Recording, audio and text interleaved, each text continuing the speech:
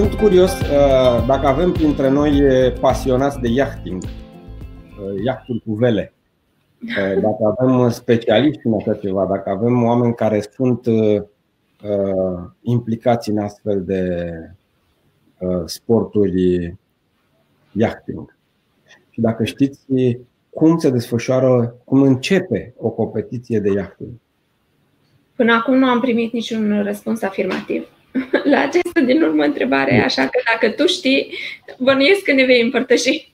Mi se pare uh, că a face o paralelă între felul în care se dă startul într-o competiție de yachting și felul în care se va da startul la activitate după ce se deblochează uh, situația actuală uh, ne va da câteva elemente în care să înțelegem foarte bine ce putem face acum, ce putem face în prezent pentru a fi la start bine în momentul în care se dă startul. În yachting se înscriu în competiție mai multe iahturi, zeci sute, și în portul din care se dă startul sau în zona din care se dă startul, se stabilește o linie imaginară de start între două puncte fixe, între două bărci ancorate în principiu. Și există linia imaginară dintre cele două, nu există nicio panglică, nu există ceva care să se vadă vizibil, dar există o, o linie imaginară între cele două puncte fixe. Și embarcațiunile care participă la, acel, la acea regată încep să se deplaseze în spațiu dinaintea startului. Se deplasează în diverse cercuri, mai largi sau mai uh, puțin largi, uh, trec unele pe lângă altele, se intersectează, e ca un dans în care se evită unii pe alții și se uh, învârt unii în jurul altora, până când va începe numărătoarea inversă, countdown și se începe numărătoarea inversă. Și din momentul în care se începe numărătoarea inversă, care dacă nu mă înșel durează 5 minute sau poate mai mult, nu știu exact, dar sunt încă 5 minute, um, nu este voie să treci linia de start până în momentul în care se termină cele 5 minute. După ce s-au terminat cele 5 minute, ai voie să treci linia de start. Și atunci, toate embarcațiunile își fac o strategie astfel încât să se deplaseze și să prindă viteză, vânt, culoar prielnic în momentul în care se ajunge la 5 minute, 5 minute și un pic din clipa în care a început countdown. E, și aici sunt tot felul de strategii, sunt tot felul de.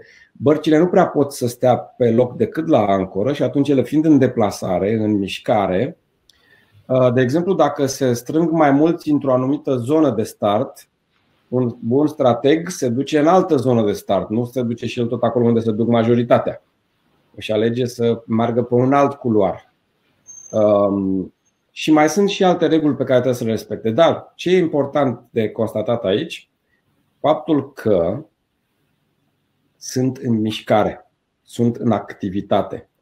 Își gândesc strategia din mers și se deplasează către a lua startul. E, acum, cum puteți face o paralelă între asta și ce se întâmplă în prezent în domeniul vostru? Și anume, cum puteți voi să vă deplasați înainte de start, astfel încât startul să-l prindeți pe un culoar prielnic? Ce puteți face voi ca strategie să nu vă înghesuiți și voi acolo unde se înghesuie toți în momentul în care se va da startul? Că s-ar putea să vă loviți unii de alții să vă încurcați și să vă uh, încurcați și pânzele unii în alții. Uh, ce puteți face să nu luați startul prea devreme? Pentru că și în cazul în care cineva a trecut de linia de start mai repede de 5 minute, ce credeți că trebuie să facă? Trebuie să se întoarcă din coaș de linia de start, să facă o întoarcere și să plece, bineînțeles, întârziat. V-am dat această imagine pentru că mi se pare că se potrivește foarte bine la situația actuală și anume se pot face tranzacții, dar puține. Oamenii nu prea sunt uh, dispuși să facă tranzacții, că sunt toți în așteptare. Cei care au bani zic, cred că banii lor vor fi mai valoroși peste ceva vreme. Cei care au imobile, probabil că uh, unii poate și-ar dori și le vândă, dar nu sunt bani pe piață sau poate că unii zic, bă, poate, nu știu, cine ar putea să zică că vor fi mai valoroase după restart decât acum. Dar, oricum, această expectativă ar fi bine să o tratați cu în mișcare, în energie. Câți dintre voi aveți echipe? Adică nu sunteți one man sau one woman show. Câți nu sunteți lupi singuratici? Oare avem printre noi uh, coordonatori de echipe, oameni care lucrează în echipă?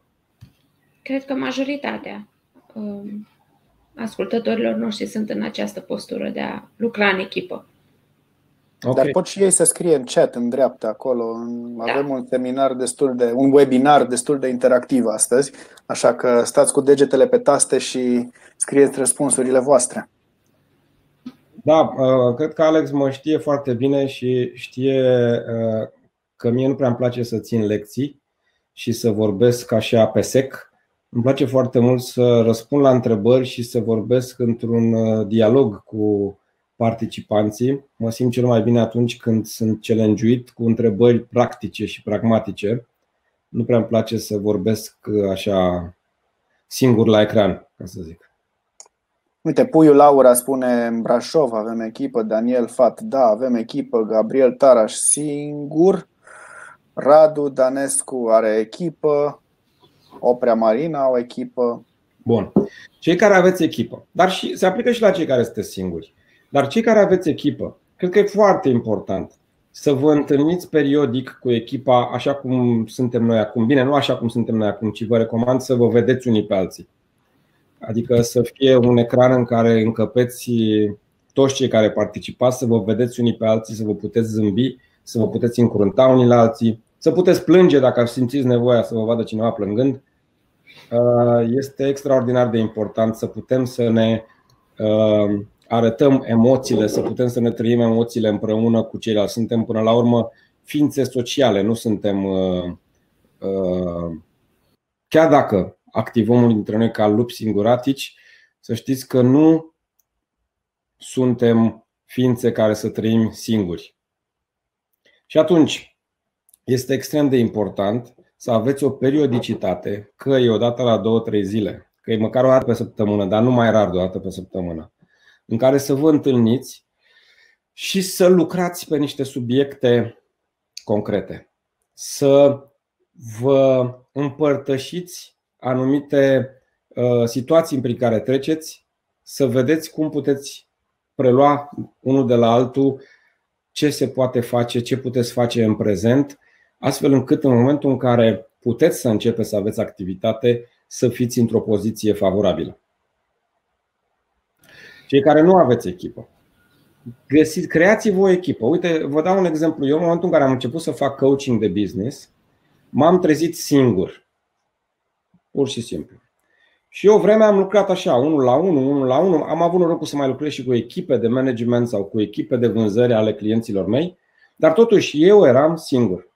Și mi-am uh, adus aminte că cel mai mult îmi plăcea să lucrez uh, în ședințe de lucru cu colegii mei și făceam tot felul de ședințe pe tot felul de subiecte. Ne întâlneam 5, 9, 12, 20 în sesiuni de lucru în care să creăm împreună. Și mi-am dat seama că eu sunt mult mai creativ și cred că majoritatea dintre noi suntem mult mai creativi în momentul în care interacționăm cu alții. Schimbăm vorbe, subiecte, auzim o idee, o prelucrăm, venim, o scoatem altfel.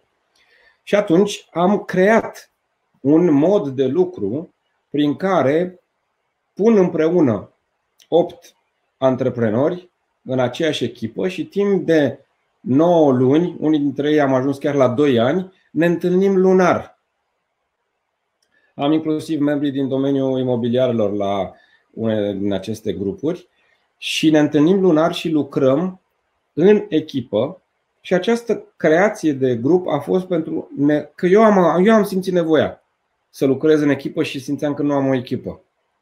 Și m-am întrebat oare cum pot să pun eu la uh, să pun împreună o echipă și în felul ăsta m-am trezit că am creat mai multe echipe. Am creat mai mult de 10 echipe care cu patru dintre ele mă întâlnesc în prezent în mod frecvent în fiecare lună. Deci, cei care sunteți singuri, uitați-vă cu atenție cu cine ați putea crea echipă, chiar dacă nu, este, nu sunt angajații voștri sau nu sunt colegii de echipă de lucru împreună. Dar totuși aveți interese comune, ați putea schimba idei să vă ajutați unii pe alții. Ok, poate ziceți, bă, da, suntem concurenți. Poate că vă găsiți colegi din alte zone teritoriale, poate că vă găsiți colegi din alte zone de interes. Unii sunteți pe industrial, alții sunteți pe imobiliar, alții sunteți pe spații comerciale. Și atunci nu aveți concurență din contră. Vă puteți șerui clienții pe domeniile voastre și așa mai departe.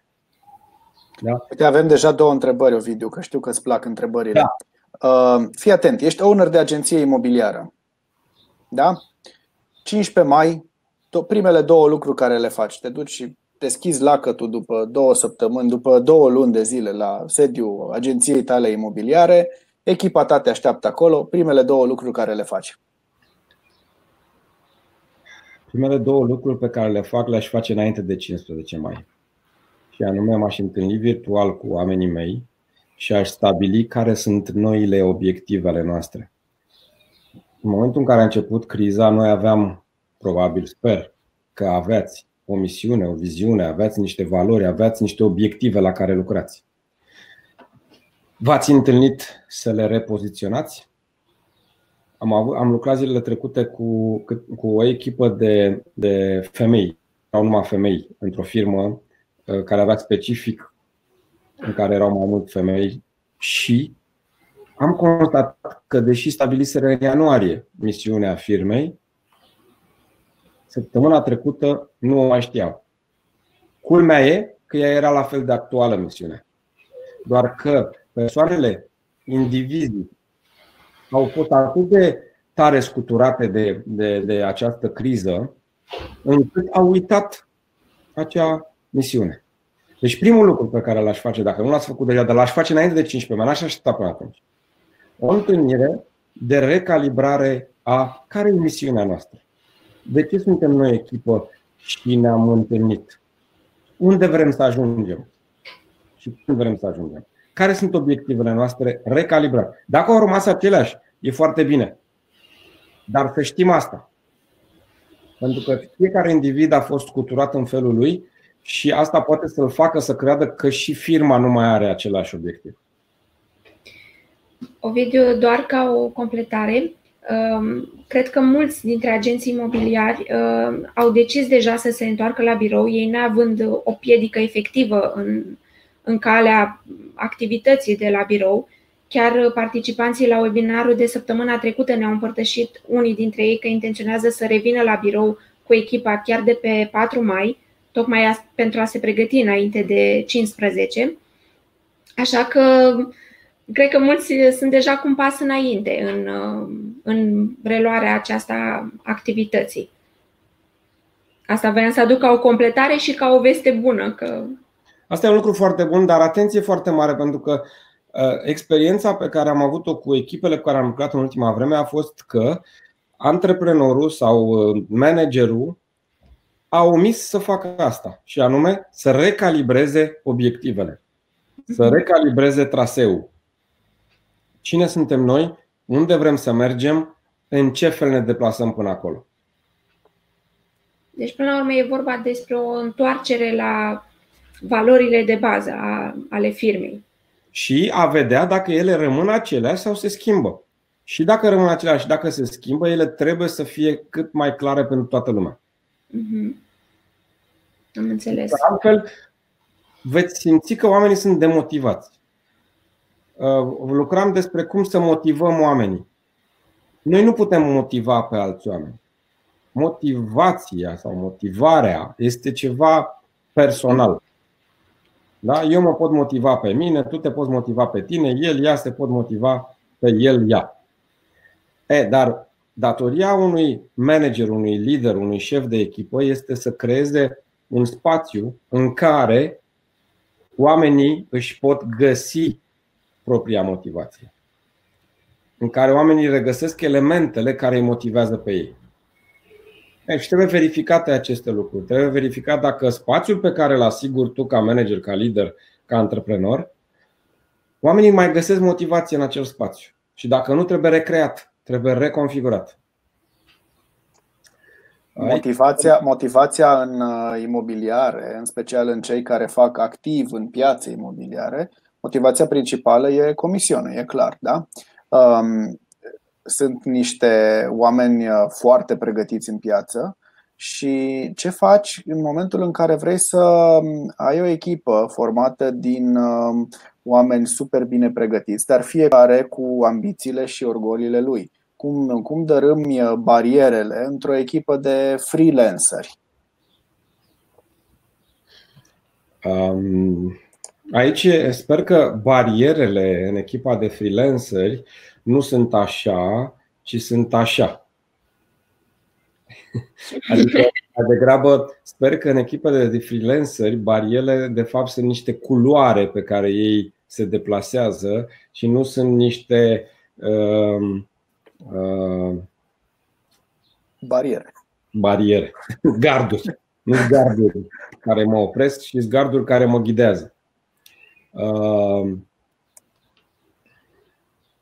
în echipe de freelanceri în care nu am făcut, uh, adică dacă, dacă ei se încalecă pe, se pot întâlni la clienți, ca să zic așa, și se pot bate pe clienți, Aici e puțin mai complexă situația și cred că ar trebui definită cu claritate uh, o politică a echipei, un mod în care oamenii nu aduc uh, stricăciuni echipei, nu aduc uh, devalorizarea echipei pentru că se bat pe aceeași minge. Dacă încep să-și dea la joale care să șuteze la poartă, s-ar putea ca mingea să ajungă la echipa adversă și să înscrie în poarta noastră. Uh, și atunci cred că aici trebuie definită cu claritate uh, care e culoarul fiecărului, care e postul pe care fiecare își desfășoară activitatea sau care e uh, specialitatea pe care o are fiecare.